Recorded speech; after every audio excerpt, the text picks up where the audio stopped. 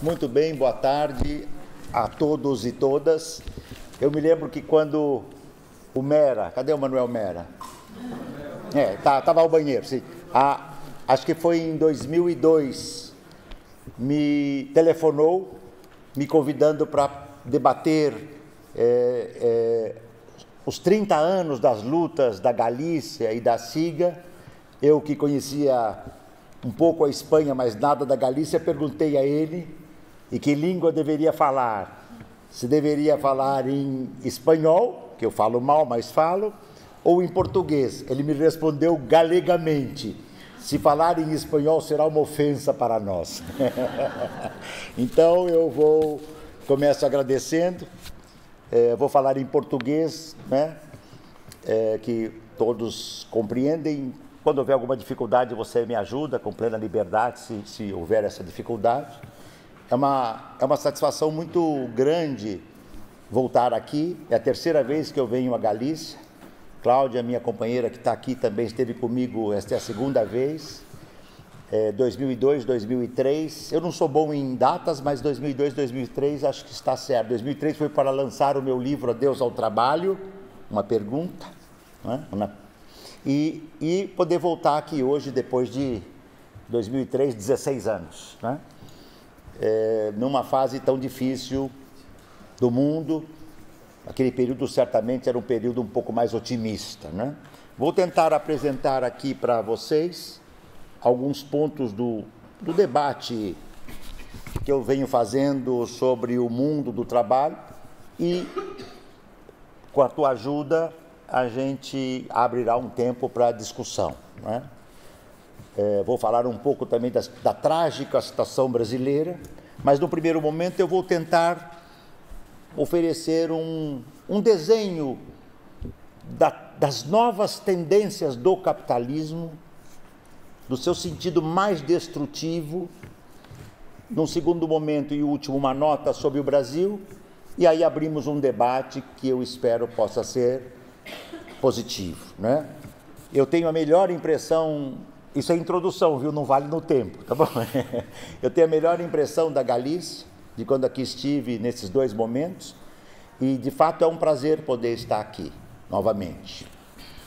Se eu pudesse dar um título para minha para minha fala, eu chamaria, daria dois títulos: o trabalho digital e a uberização do trabalho, ou mais provocativamente, o capitalismo de plataforma e a protoforma do capitalismo. Eu vou explicar já o que, que eu estou chamando disto. Né?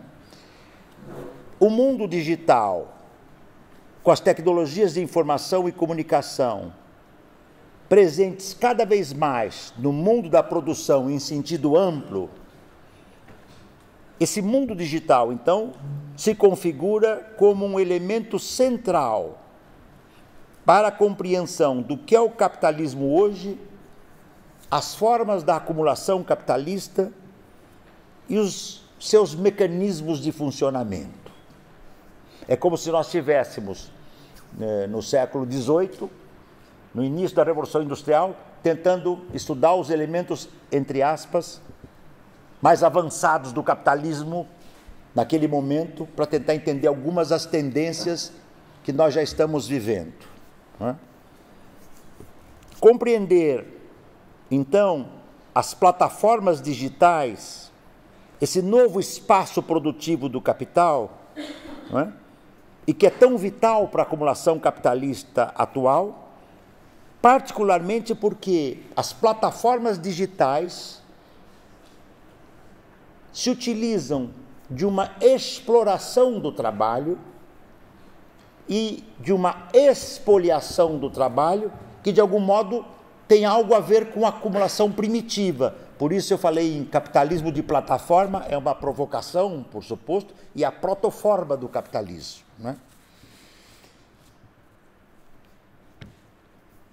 Isso nos obriga, então, a entender as plataformas digitais, como elas vêm participando, direta ou indiretamente, da geração de mais-valia, contraditando-se, contrapondo a uma série de autores que dizem que não existe mais mais-valia, que não existe mais exploração do trabalho e alguns até que não existe mais capitalismo. Né? Eu vou apresentar aqui alguns exemplos mais emblemáticos desta processualidade do trabalho, nos quais o mundo informacional digital, essa é a primeira contradição do nosso tempo, entre uma infinitude de contradições. É? Há uma convivência muito íntima entre mundo digital e informacional, com as mais distintas formas de informalidade, de flexibilidade, de desregulamentação e de terceirização. O que faz com que o resultado maior desse cenário é, seja o aumento da precariedade, que se torna cada vez mais presente num mosaico que compõe a nova morfologia do trabalho. Ao contrário de uma tese eurocêntrica, que eu sei que a SIGA sempre combateu, é, de que a classe trabalhadora ia desaparecer, que o capitalismo ia viver sem trabalho. O Manuel Castells, eu não posso dizer que é galego porque ele não é galego, mas ele é espanhol, né? chegou a dizer isso, que o século XXI seria uma maravilha, o mundo da técnica, da informação. Né? É, o que nós estamos vendo é algo muito diferente disso. Eu vou dar alguns exemplos emblemáticos do que, que nós estamos vivendo hoje, do que é possível visualizar para amanhã, tá certo? Nesse cenário. E vou fazer com três ou quatro exemplos de empresas que, de certo modo, sinalizam essas tendências. Se eu tivesse que escolher uma primeira empresa para explicar por onde caminham as plataformas digitais, eu poderia começar pela Amazon. Né? A Amazon é um exemplo atualíssimo e de grande significado no mundo das plataformas digitais. Ela combina atividade digital com formas intensas de exploração do trabalho manual, físico e intensificado. Depoimentos de trabalhadores dos Estados Unidos demonstram que caminhar 24 ou 25 quilômetros ao longo do dia para buscar nas prateleiras os produtos a serem enviados em tempo virtual, veloz aos consumidores, é prática sistemática. Então, é um mundo digital, só que o trabalho implica em caminhar 24, 25 quilômetros por dia, embalando em média de 120 a 200 produtos por hora, trabalhando em alguns casos 55 horas por semana e até 10 horas por dia em períodos de vendas intensas, como no período do Natal, como foi relatado na unidade de Tilbury, na Inglaterra, onde se encontra o maior centro de e-commerce da Europa, na Europa, da Amazon, no qual são vendidos mais de 1 milhão e 200 mil produtos por ano. E tudo isto, vocês se lembram que a Amazon começou como uma empresa que vendia livros e hoje tem plataformas onde ela vende praticamente quase todo tipo de produto. Se eu quiser tra traduzir um artigo meu para o sânscrito ou para o russo, né, haverá de encontrar pelas plataformas da Amazon alguém que fará isso. E a, a Amazon vai se apropriar diretamente desse trabalhador tradutor ou dessa trabalhadora tradutora um percentual que não é outra coisa senão uma mais-valia extraída direta. Aquele mito de que a mais-valia desapareceria, que o capitalismo não mais precisaria de mais-valia. Bom, o mais trágico, espetacular e trágico do nosso tempo é que a tecnologia ultra avançada, eu vou voltar a isso depois, convive com formas pretéritas de exploração do trabalho. E eu estou citando aqui não um exemplo brasileiro, ou do sul da Europa, ou da China, ou da Índia. Estou citando um exemplo que é hoje uma empresa global, considerada uma das empresas mais importantes. Tudo isso ocorre ao mesmo tempo em que as lojas da Amazon já operam nos Estados Unidos sem a presença de nenhum funcionário, tudo feito pela Dia Digital. São os chamados, eh, são os chamados eh, magazines da Amazon, onde você entra, é identificado, compra, o seu produto é identificado e vai para a sua conta e você não, não convive com o trabalhador. Exploração intensa do trabalho, de um lado, e eh, atividade realizada sem a presença de trabalho humano do outro lado. E a Amazon tem se conformado como, como uma, uma, imensa plataforma global, onde os mais diferentes tipos de trabalho podem ser contratados. É?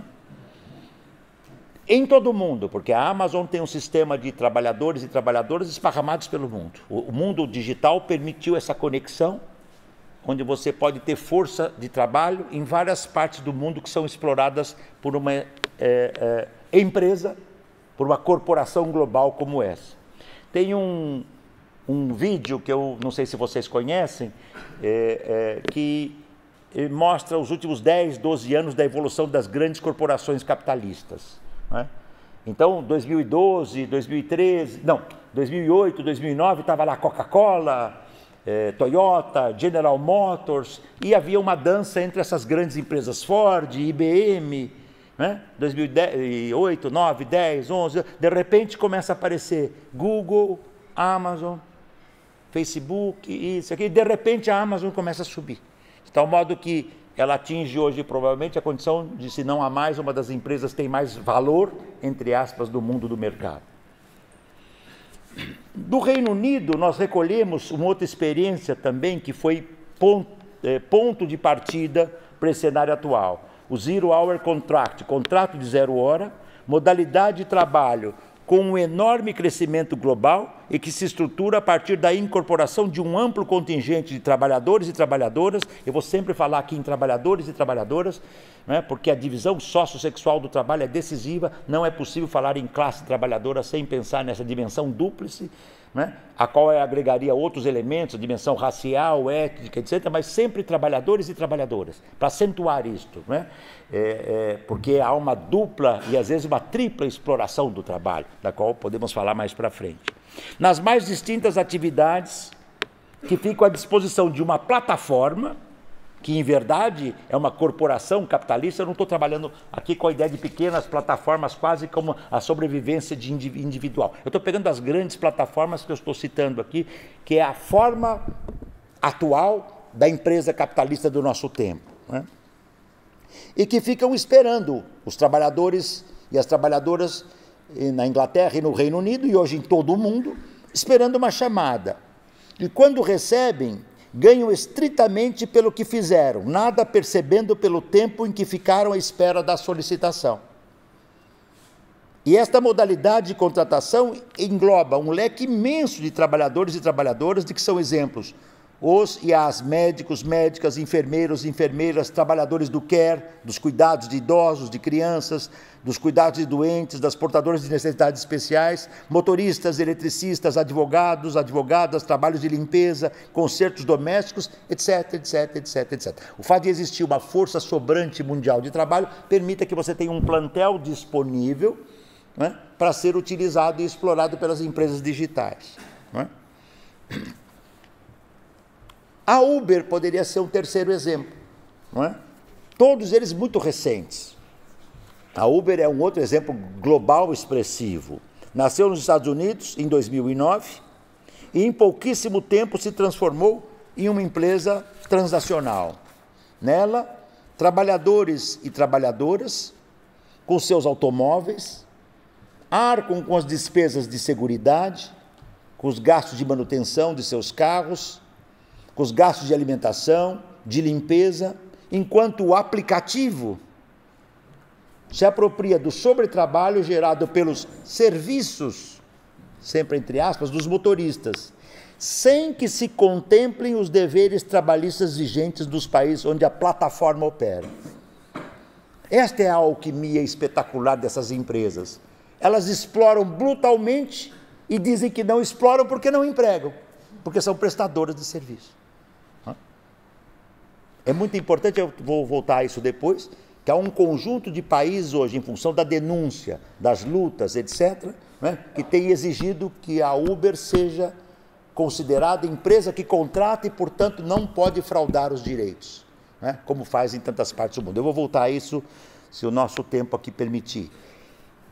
E é importante também dar uma distinção entre o sistema Uber, Uber, Cabify, 99, Uber Foods, Glovo, RAP, essa miríade de empresas. Né?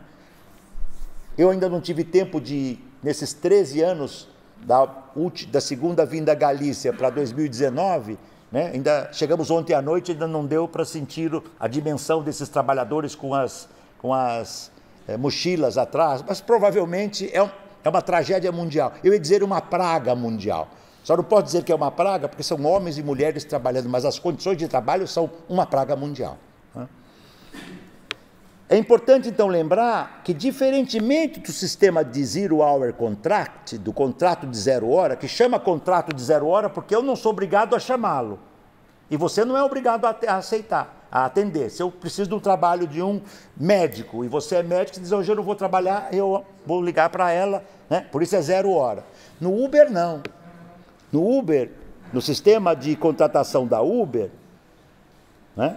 Os motoristas e as trabalhadoras e trabalhadores não podem recusar as solicitações. Se eles estão com o seu aplicativo conectado, eles têm em geral uma recusa de três recusas. E se eles não, se eles não justificarem o porquê de não aceitar dada a chamada, eles podem ser sumariamente e unilateralmente cortada pela Uber. A Uber manda uma carta dizendo você não é mais parte do nosso sistema de de prestadores de serviços e, e corta-se a relação.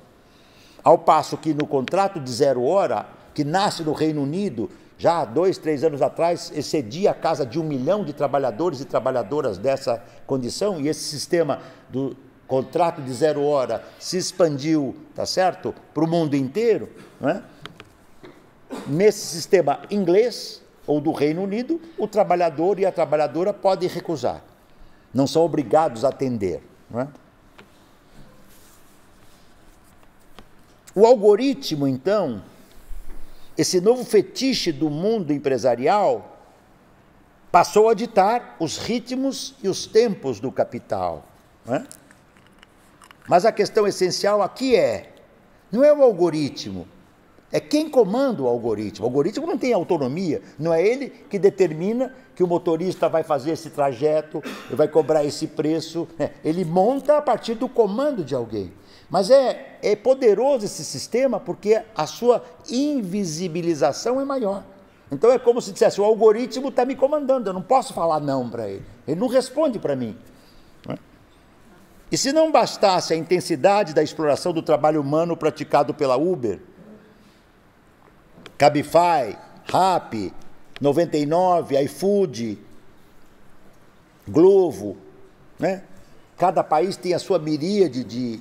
No Brasil, por exemplo, Uber, Cabify, 99, Glovo, Glovo agora saiu do Brasil, a Rap e outros tem em torno de 5 milhões de trabalhadores e trabalhadoras trabalhando sob essa modalidade. Né? O desemprego no Brasil só não é maior porque assim que um trabalhador ou a trabalhadora são desligados do seu trabalho, eles imediatamente se conectam com uma, uma dessas empresas e passam a estar empregados. São empregados, oh, perdão, são empregados sem emprego. São empregados sem direitos. São empregados que não são reconhecidos enquanto tal. E se não bastasse a exploração do trabalho humano praticado por essas empresas, pode-se encontrar em muitas delas jornadas de trabalho que remetem aos primórdios da Revolução Industrial. Empresas de transporte, tá certo? Como a Uber, há vários anos pratica este uso intenso de trabalhadores e trabalhadoras, mas ela também vem desenvolvendo já há anos um projeto piloto de funcionamento dos carros autônomos, sem pilotos, com comando automatizado, digitalizado e de inteligência artificial, contando somente com uma vigia ou um vigia humano interno. Esse experimento da Uber sofreu inclusive um rude golpe com o atropelamento que ocorreu no ano passado, em março de 2018, nos Estados Unidos, e que resultou da morte de uma transeunte, de uma mulher que fazia, atravessava a rua.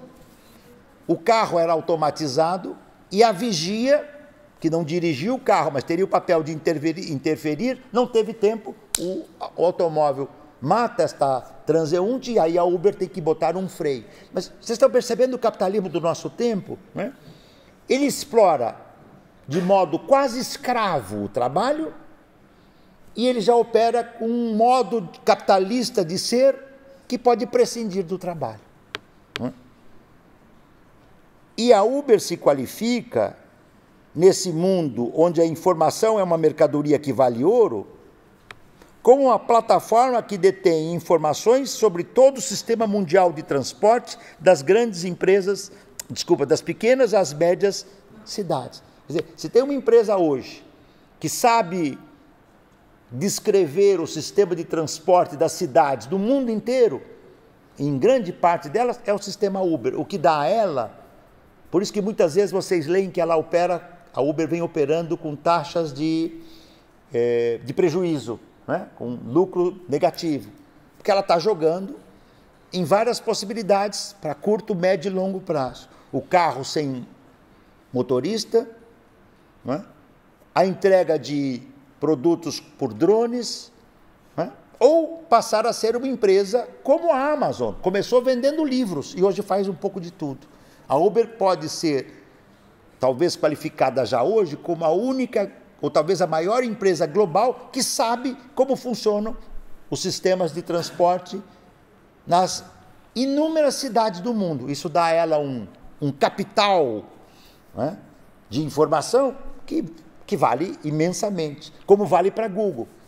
Né, Facebook, que dispõe, todo mundo sabe o que, que o Ricardo Antunes gosta de ler. Eu não tenho Facebook, mas eles darem um jeito de inventar o que, que eu gosto de fazer, o que, que você. Eu, por exemplo, na eleição do Brasil de Bolsonaro, tinham 50 milhões de, de votantes no esquema do Bolsonaro. Eu nunca recebi um, uma propaganda do Bolsonaro, o que me mostra que o sistema é, é tá certo? É um sistema competente. É, não perderam tempo de mandar uma mensagem para mim. 50 milhões. Né? Isso mostra a competência. Né? A, a, proposta mais atual do, do, Uber, claro que a Uber tem dimensões regionais, nacionais, mas é o Uber Work, é uma provocação. Você precisa de um trabalhador, ligue para a Uber, a Uber tem esse trabalhador e ela leva e retira esse trabalhador. Entende? Naturalmente, a questão de fundo aí é que esse trabalhador não tem direitos. Ele é um terceirizado que acredita que é um autônomo. É muito importante que na região da Califórnia, recentemente, a Uber foi é, a ela imposta a condição: se o trabalhador ou a trabalhadora trabalham full time, ela tem que pagar a eles os direitos do trabalho como qualquer outra empresa. Diferente aquele trabalhador do Uber que opera algumas horas do dia esporadicamente, que faz um bico, a gig economy, daquele trabalhador ou daquela trabalhadora que trabalham como muitos que eu entrevistei no Brasil, 8, 10, 12, 14 horas por dia, para poder tirar, receber um salário próximo aí de 700 euros, 800 euros, né, na moeda brasileira, 3, 4 mil reais por mês. Né? Cria-se então, no capitalismo do mundo digital, uma enorme disponibilidade para o trabalho, para o labor, possibilitada pela expansão do trabalho online, digital, dos aplicativos e das plataformas que se utilizam dessa força de trabalho global que, entretanto, e aqui tem uma alquimia do capitalismo, que, entretanto, essa força de trabalho fica invisibilizada, ela é invisível, né? ela é individualizada é apresentada pelas plataformas. Esse é o argumento do Uber, Cabify, 99 e todos os outros para dizer por que ela não paga direitos do trabalho. Ela diz: ele é prestador de serviços. Ele não é um trabalhador, né? ele não é um trabalhador do sistema eh, de contratação. Ele presta serviços. Ele liga o seu eh, carro e se conecta, se conecta com a plataforma quando ele quer. Mas a questão fundamental é quem controla o algoritmo? É o trabalhador ou a trabalhadora? Quem dá o preço da jornada? É o trabalhador? Ele nem sabe. Muitas vezes ele não sabe nem para onde ele vai levar o passageiro. Ele só é informado quando ele recebe o passageiro e aí é que ele vai acessar. A Uber está mudando isso, porque isso tem trazido muitos problemas de segurança e mortes de trabalhadores, motoristas, porque às vezes não, num país como o Brasil, imensos, com uma, né, uma região é, é, de periferia imensa, às vezes os trabalhadores é, levam é, é, passageiros para uma área é, de, de alta periferia e aí o risco de ser assassinado e morto é grande, porque muitas vezes o passageiro que está sendo levado é, tem conexões com o narcotráfico, com a economia do crime, etc. Então está havendo agora, já é possível que o motorista ou a motorista saibam a região que vão para ter tempo de dizer eu não vou fazer esse trabalho, mas eles têm que justificar. É uma área de risco, isto, isto, isso, senão eles começam a perder ponto. Se eles têm três votos, não é? três, três, como chama, três recusas, e não justificam as três recusas, eles podem ser sumariamente cortados pela empresa. Se eles têm nota abaixo de 4,7 e a nota máxima é 5, eles também podem ser recusados e, digamos assim, desconectados.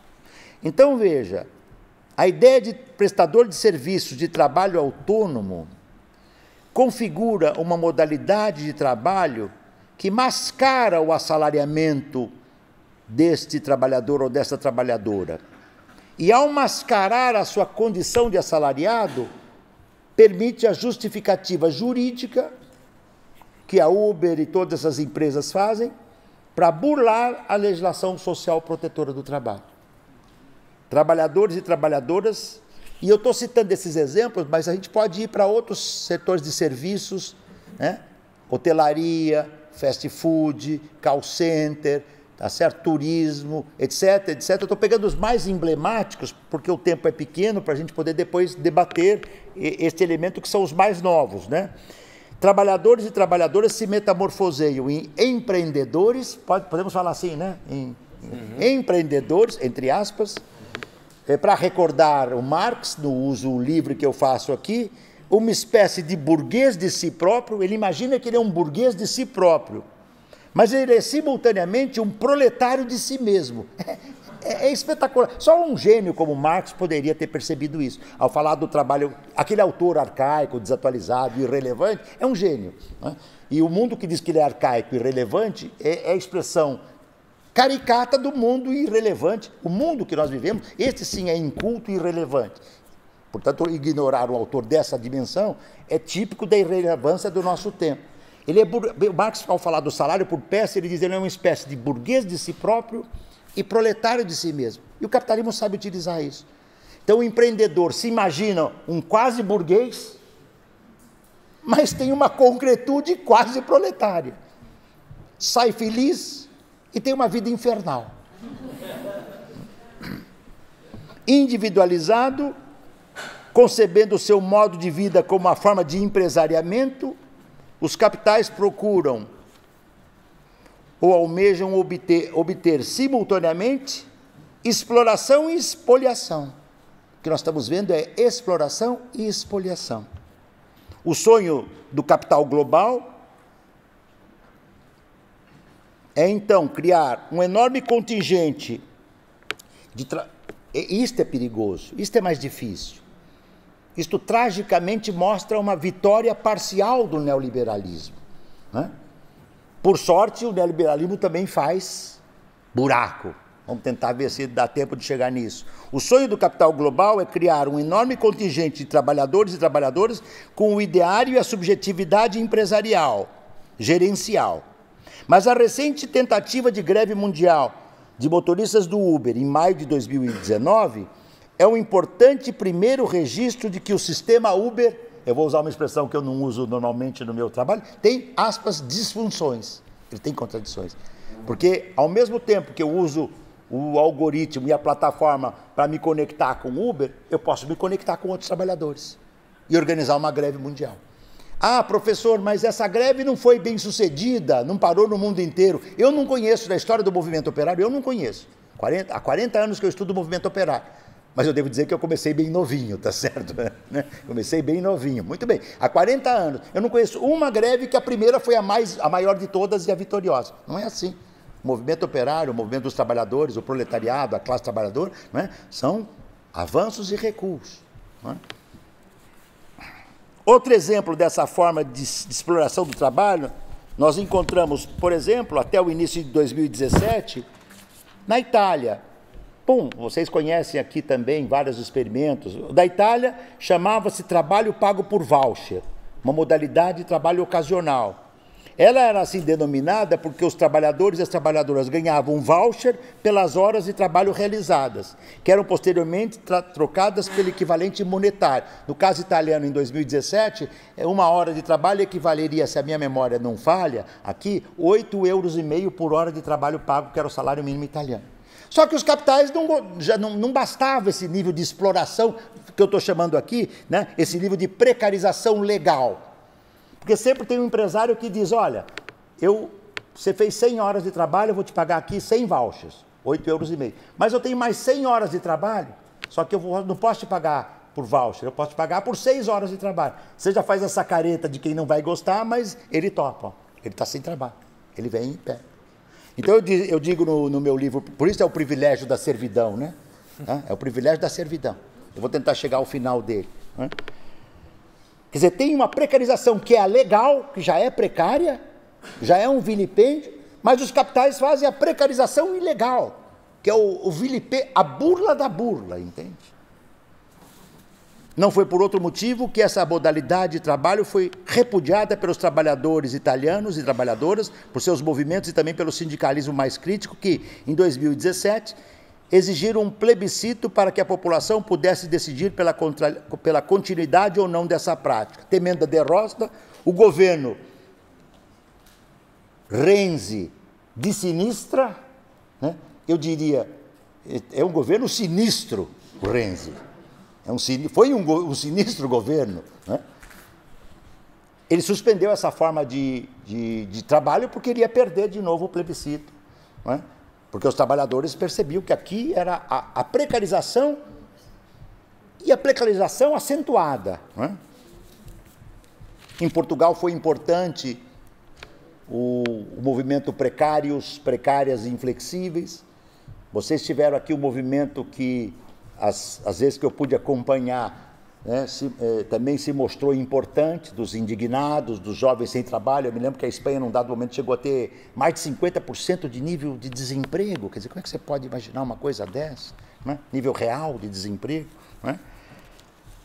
Agora, na, digamos assim, na contrapartida desse cenário desolador,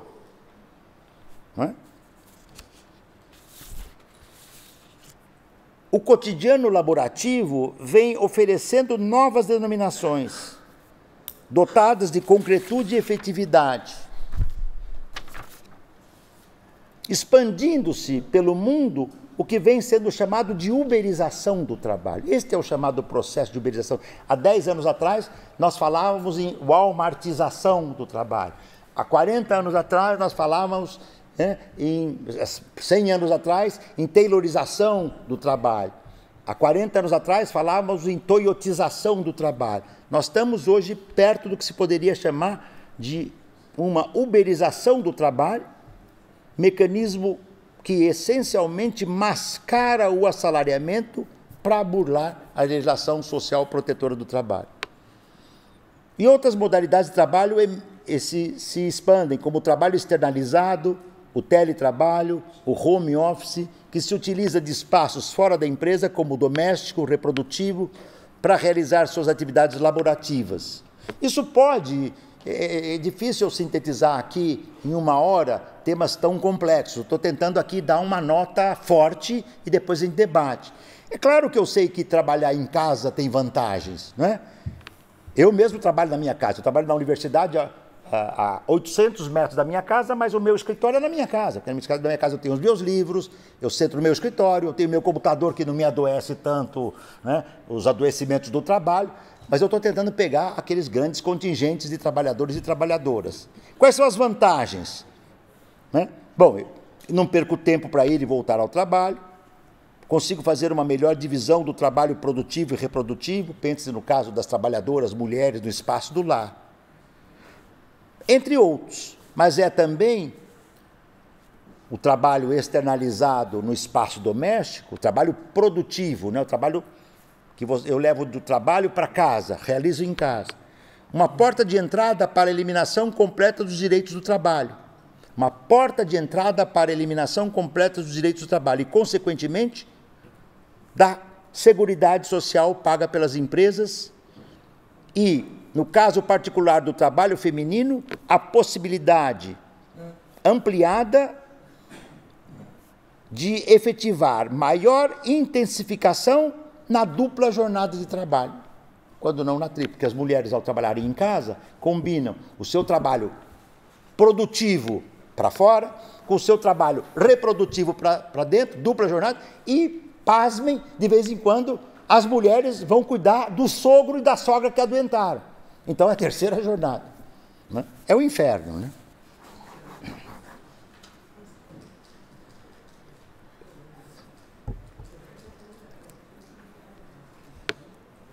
Além de intensificar. Quanto tempo que eu falei, hein? Está mais ou menos aí no, no horário? 35 minutos. Tá bom.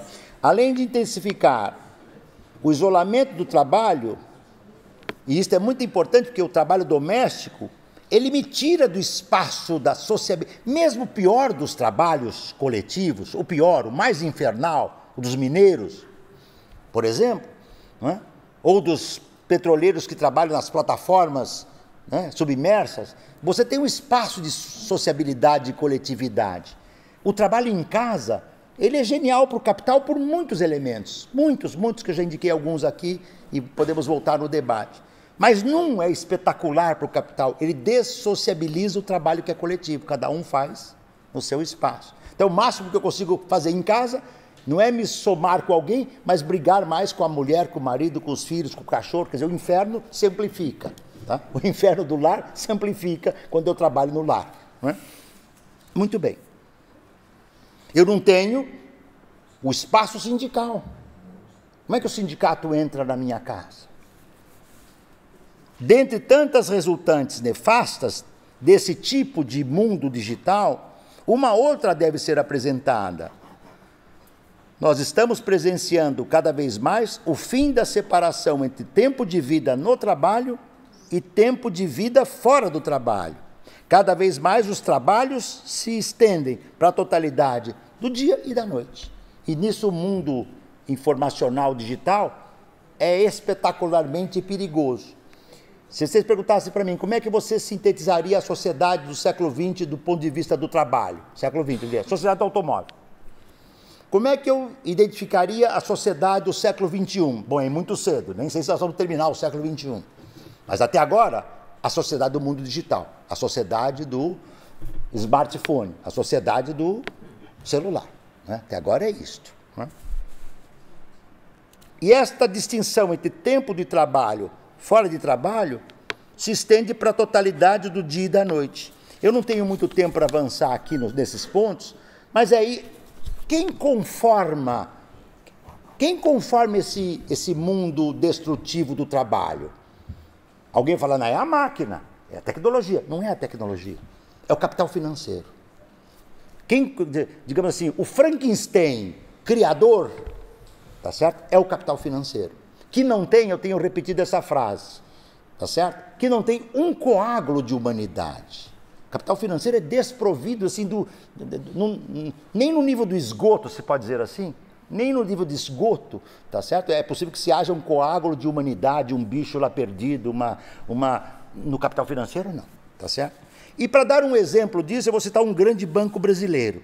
Você sabe que por vários motivos o Brasil tem um sistema financeiro muito desenvolvido, muito desenvolvido. Ele é mais desenvolvido tecnologicamente falando até mesmo que alguns países da Europa que eu conheço. Numa proposta de contratação do, do trabalhador ou da trabalhadora ideal para o capital financeiro, eu não posso a, aprofundar, não dá tempo. Eles dizem assim: mais do que habilidades técnicas, o banco tal busca candidatos que querem fazer a diferença. Candidatos que querem fazer a diferença. Os inventivos, os incansáveis, os improváveis, os interessados, os indignados e os inquietos. É assintoso, né? É assintoso, entende? Os indignados. Eu só vou ler um para vocês. Né?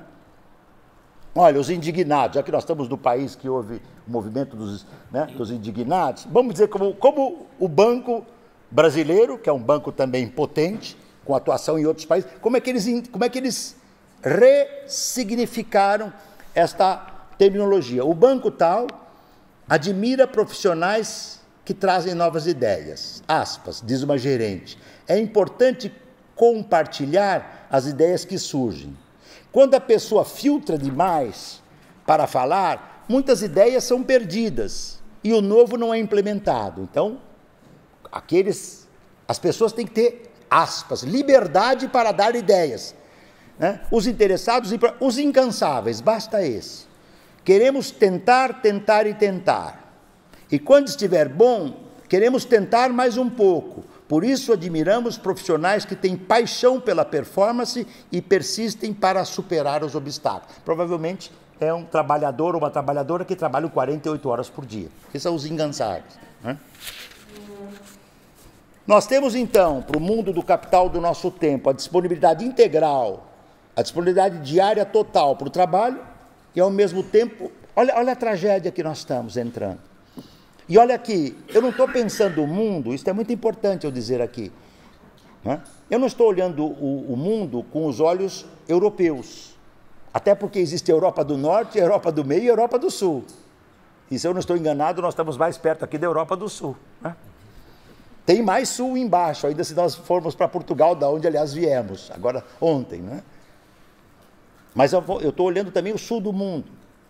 América, Latina, a África, a Índia, a China, Filipinas, enfim, todo esse entorno do mundo asiático, né? Nós temos uma disponibilidade diária total para o trabalho e, ao mesmo tempo, sua utilização cada vez mais esporádica, intermitente, parcial. Como a subutilização é um traço distintivo do nosso tempo e a desregulação é o seu corolário natural, florescem outras modalidades de trabalho para fugir do desemprego, coworking, que são espaços compartilhados de trabalho onde sociabilidade, insegurança e competição se retroalimentam. Self-employment para preencher o subemprego, acalentando a ilusão da felicidade e vivenciando a pragmática cotidiana da irrealização.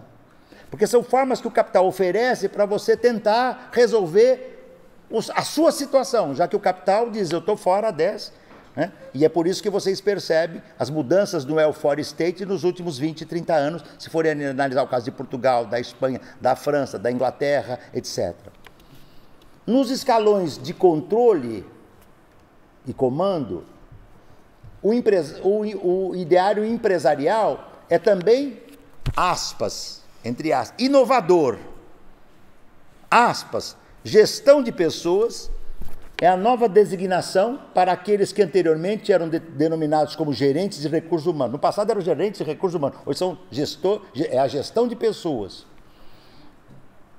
com a função precípua de efetivar cortes, liofilizar o trabalho vivo e envolver os colaboradores nas pragmáticas empresariais. O CEO é o, sub, é o substituto dos antigos presidentes, diretores ou assemelhados, que comandam as, as corporações, despersonalizando a figura dos proprietários e profissionalizando as antigas funções dos administradores.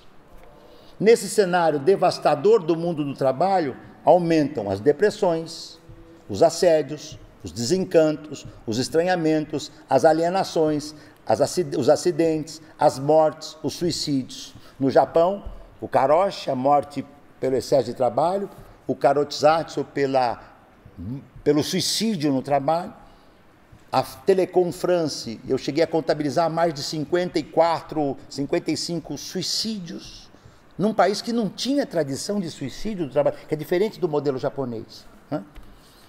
Bom, mas o capital aí é, é verdadeiramente infernal. Porque, para consolo dos, de nós, os desconsolados, florescem as novas profissões, como a do coaching, uma espécie de consolador espiritual para tentar recuperar a autoestima daqueles que foram corroídos pelos engenhosos mecanismos do capital. E tem quem pague pelos coaches. A nossa hipótese provocativa, e aqui eu entro então para tentar finalizar esse bloco e fazer uma provocação. Isso eu estou trabalhando, é uma ideia que não aparece aqui no privilégio da servidão, eu espero estar presente nos, nos meus próximos trabalhos. Eu não sei se o Mera, que sempre acompanhou a publicação brasileira, nós publicamos recentemente no Brasil Riqueza e Miséria do Trabalho do Brasil, volume 4, que se chama Trabalho Digital, Expropriação do eh, Trabalho Digital, Autogestão e Expropriação do Tempo, onde as nossas pesquisas estão condensadas. Eu, eu pensava em trazer um, um exemplar aqui para vocês, mas como eh, eu já estou há 40, quase 45 dias na, na Europa, e a minha mala não permitia que eu trouxesse peso, mas eu vou doar isso aqui de presente aqui para um presente coletivo, é pouco, é modesto, mas é para todos e eu vou deixar para para a SIGA, que é um sindicato que nunca saiu do meu coração desde a primeira vez que aqui estive, tá? Então vou deixar aqui de presente esse livro. Então, ah, hã? Tem, tem, tem. Para nossa sorte é tudo pirata. Para nossa sorte, a gente é lido de modo. Eu, eu, sou, eu sou um leitor do tempo do livro, mas eu adoro que, os, que o meu editor não me ouça, né? Mas eu adoro que o meu livro esteja pirateado, porque todo mundo pode ler, tá certo? A minha primeira hipótese provocativa, então, é o seguinte: aqui é uma provocação que eu vou avançar um pouco mais e quero publicar isso mais para frente. O capitalismo de plataforma. Por que, que eu estou trabalhando aqui do capitalismo de plataforma? Eu, eu aprendi com Marx, né? Aprendi com Marx, esse gênio do pensamento ocidental. Né? E para redescobrir Marx é preciso tirar o invólucro místico do socialismo real, do pós-socialismo. É outra coisa, é buscar a originalidade de um autor verdadeiramente genial. São poucos autores geniais. O Freud também é um autor genial num outro campo. Né? O, o, Hegel, como dialeta, também é um autor genial. Esse é o maior de todos, o que eu estou citando aqui, mas, digamos assim, tem um grande literato brasileiro, Guimarães Rosa, que diz, é genial isso, em português, vocês, como galego é muito próximo do português, ele diz assim, pão e pães, questão de opiniões. Porque no, no português correto seria pão e pães, questão de opiniões. Mas ele é um literato, então pão e pães, questão de opiniões. Estou né? dando a minha aqui. Né? O capitalismo de plataforma. E a ideia do Marx é essa: às vezes você precisa conhecer a forma mais avançada para descortinar a mais atrasada, para entender as que ficaram para trás. Né? O moderno permite você fazer leituras para compreender como foi o passado. E como vai ser o futuro? A minha primeira provocação, vou fazer duas e, vou, e depois um terceiro ponto, e aí você me ajuda a controlar no tempo aí para não passar, tá? Já passamos 47? Tá, eu vou tentar nos 13 minutos finais fazer um milagre aqui. Vou largar o meu texto então. A primeira provocação: o capitalismo de plataforma, porque ele é plasmado por relações sociais de produção dado pelo sistema de metabolismo do capital, ele, forme, ele, ele é uma variante, ele é uma espécie de protoforma do capitalismo. Então, há algo em comum entre a, o capitalismo de plataforma e a protoforma do capitalismo. O que, que é a protoforma do capitalismo? É a forma primeva do capitalismo. E como é que o capitalismo sentou suas bases para se tornar capitalismo? Pela acumulação primitiva exploração ilimitada e expoliação ilimitada. Nós vivemos um tempo onde um trabalhador da Uber, do Cabify, da Amazon, homem ou mulher, trabalha às vezes 10, 12, 14, 16 horas numa expoliação e numa exploração, porque ele é explorado e expoliado. Tá certo? E ao mesmo tempo que ele sofre, sofre essa duplicidade, ele não tem regulação protetora do trabalho. É acumulação primitiva. Então, essa é a primeira provocação. Né? Mas o Manuel Castells, já que estamos nós estamos no país galego, galego, mas se estamos na Espanha, não foi o Manuel Castells que disse que a gente entraria no século XXI com felicidade? Hein? Só se for a dele, só se for a dele, a nossa não. Ah, porque nós entramos, a tendência, e por que, que esse ponto é importante? Porque o trabalho intermitente, que é disso que nós estamos tratando, o trabalho informal, já avassala a indústria. E a agroindústria também. Ou seja, isso não é uma tendência só do setor de serviço.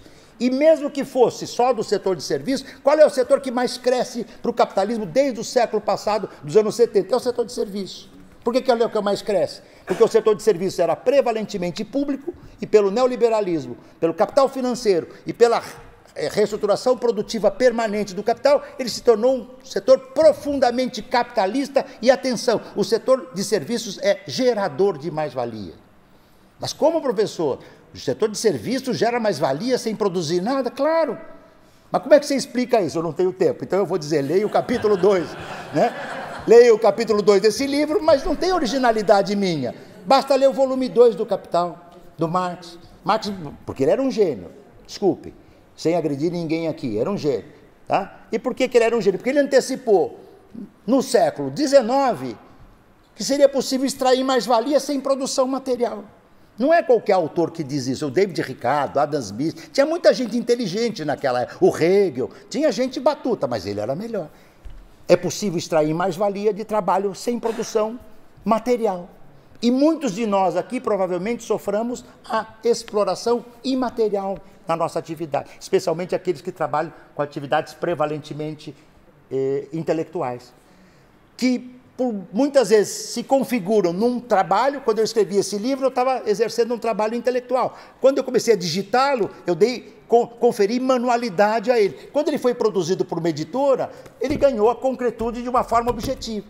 Mas eu poderia não ter publicado esse livro, ele teria nascido aqui, eu teria digitado, né, e ele teria ficado guardado, e seria um capítulo inédito né, na nossa história. Né.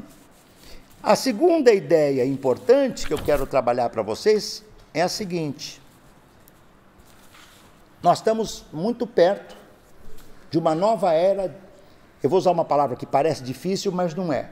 Nós estamos muito perto de uma nova fase de desantropomorfização do trabalho. É uma ideia de um grande filósofo húngaro, o Georg Lukács, né, que ele pensava na Revolução Industrial. O que, que é isto? Nós estamos às vésperas da indústria 4.0. Todos vocês aqui já ouviram falar, mais do que eu, até porque eu fui estudar a indústria 4.0 quando eu fui professor na Universidade de quando eu fui professor visitante por um, quase um semestre, três meses na Universidade de Veneza, na Universidade de Ca' Foscari, em Veneza, é? em 2017. É uma universidade que eu dou aula todo ano, mas nesse período eu fiquei mais tempo lá, e eu comecei a debater com os setores do movimento dos trabalhadores, movimento sindical italiano, e que eles começaram a discutir o chamado indústria 4.0. A indústria 4.0 nasce da Alemanha em 2011, é concebida para gerar um novo salto tecnológico no mundo produtivo, ela depende das tecnologias de informação e comunicação, e ela funda a ideia de uma indústria, que não é uma indústria, é a indústria 4.0 é a empresa 4.0. Indústria, agricultura, serviços. Né? E como é que ela se baseia? Na internet das coisas, na inteligência artificial, a impressão 3D e o Big Data. Né? Você, utilizando esse arsenal tecno-informacional digital, você vai tornar as empresas mais produtivas. Vou dar um exemplo aqui elementar. Eu, você e ele. Eu peço um trabalho, digo, olha, por favor, eu estou precisando de uma informação sobre tal coisa. Você localiza ele e pede a ele. Ele prepara, manda para você, você faz o devido uh, acompanhamento, conferência e me passa. Somos três. Na indústria, na indústria 4.0, a máquina A vai interneticamente pedir para a máquina B, que vai interneticamente pedir para a máquina C. Ah, tem o frenesi quando eu ouço isso, né? Fica o, o gozo catártico, entende? A pergunta é: o que, que vai acontecer com o colega, o que vai acontecer com você e o que vai acontecer comigo? Essa é, é a questão. Porque é evidente que os capitais estão fazendo isso para se tornarem mais produtivos. Vocês estão fazendo isso para tornar mais produtivos, nós vamos ter perda enorme de força de trabalho. Alguém vai falar, mas professor, eu já ouvi dizer que novas profissões vão ser criadas. É verdade, novas profissões vão ser criadas, mas qualquer estudo minimamente sério e de projeção mostra que o número de empregos que vão desaparecer é muito, muito, muito, muito superior ao que serão criados. Então a questão que se coloca é que na chamada indústria 4.0, não é? Nós vamos ter perdas enormes de trabalho. E com diferenças entre o norte e o sul do mundo. Com diferenciações entre o norte e o sul do mundo. De tal modo que a desantropomorfização do trabalho não é só a redução quantitativa de trabalhadores e trabalhadoras, é a perda de aquisição humana decisiva que é criada e que vai ser vai se tornar supérfluo e inútil, os bolsões de reserva né, do trabalho vão se, vão se ampliar e nós vamos ter empresas cada vez mais restritas, com maquinário informacional digital de ponta e a humanidade que se lixe. A disputa atual entre a chinesa Huawei e a Apple, em disputa aí da, 5, da tecnologia de 5G, que interesse humano societal está em disputa? No que, que para a África, para a Ásia, para a América Latina, para a Europa, para a Europa do Sul, para a Europa do Norte, para a Europa do Leste, para a Europa do Ocidental, o que, que isto vai trazer de melhoria social? Vai fazer com que a gente mude a nossa máquina para uma nova máquina, provavelmente que vai ter que ter um tempo de vida útil menor. Porque se os computadores continuarem tendo vida útil média de X anos, eles não vendem mais. Então tem que inventar, como fizeram com os carros. Os carros do passado duravam 25 anos. Quanto custa um carro? Quanto tempo? Qual é o tempo de vida de um carro hoje? Pouco. Se você vai repor o carro, é mais fácil. Por isso que qualquer, qualquer acidente deu perda total. É mais fácil trocar. Isso é próprio do que o Mesaro chamou de lei de tendência destrutiva do valor de uso das mercadorias. É evidente que se esse cenário assim avançar, a desantropomorfização é uma nova era em que o trabalho se torna apêndice do maquinário e é uma perda qualitativa de trabalho vivo no mundo. Bom, se vocês me convencerem que as corporações vão ter mais lucros para pegar essa riqueza e dividir e igualmente, de modo, de modo igualitário, com o norte e o sul do mundo, eu fico imaginando assim, a população, é, é, sei lá, de Nepal, a população é, de Moçambique vai receber 2 mil euros por mês, como recebe os suíços? É difícil imaginar, né, que na divisão, que a renda universal vai ser equânime. Não, provavelmente os suíços vão receber 3 mil euros e para os tigres, nós que moramos no sul do mundo, na África, na América Latina, qualquer 80 euros já melhora a nossa vida, já nos permite não morrer de fome, né? É, numa situação é, é, de profunda tragédia social. Isso se, se eu tiver razão no que eu estou dizendo, é? a nossa tragédia não é pequena. A indústria 4.0 é disputa entre corporações globais poderosas. O que, é, se me permite, viu, Mera, é, com muito respeito, né, dizer, os sindicatos estão obrigados a, primeiro, descortinar quais são as questões vitais do nosso tempo vitais. Dois, que mundo nós estamos vivendo? E três, em que mundo nós queremos viver? Né? Se nós imaginar, isso não vale para SIGA, mas eu vinha ontem de Lisboa para o Porto, antes de vir para cá, e estava lendo o El País, um jornal assinado por três é, colegas é, da, das comissões obreiras. Né? Eu não lembro o nome, um deles era o responsável pela escola do trabalho das comissões de obreiros. Ele artigo interessante, por suposto, mas a proposta dele é, era, no fundo era a seguinte: como tornar equilibrado o capital e o trabalho? A minha pergunta é: em que fase do mundo houve equilíbrio entre o capital e o trabalho que nós não descobrimos ainda? Por, basta por hora, eu falo um pouquinho do Brasil na sequência, tá? Muito obrigado.